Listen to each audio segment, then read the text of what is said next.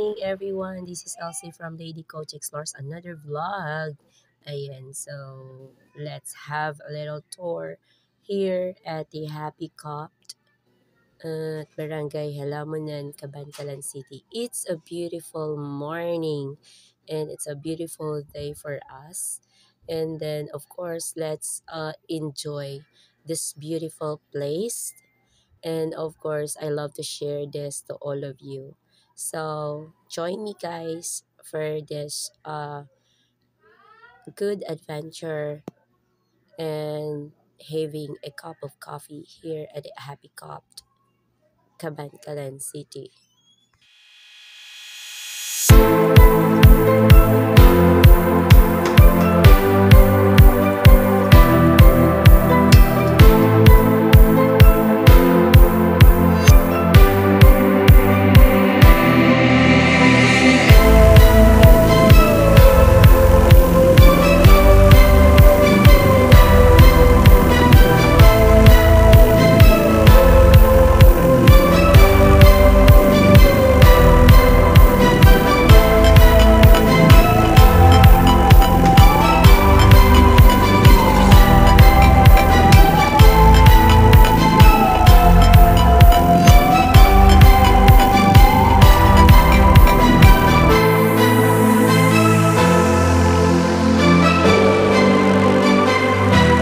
Yung nakikita natin, ah, mga souvenirs niyan, kung gusto nyong bumili, ah, dito, ah, kompleto naman guys. Meron siyang t-shirts, cups, lotions, at mga bath towel. If ever ah, gusto nyo for kids, meron din mga laruan.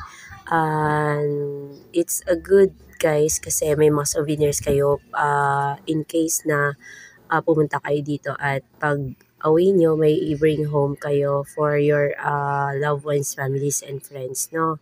Para kahit papan. Of course, nandito tayo sa taas. At makikita natin may relaxation area din sila dito, guys. Ayan, meron diyang tao sa loob na nagre-relax. And then may butaka sila dito if ever gusto mong umupo, makita yung magandang views. Ayan. So, it's coffee time. Ayan. Masarap dito yung coffee nila, guys, honestly. So, ayan, ito yung magandang view sa taas. At makikita natin may mga bahay kubo sila.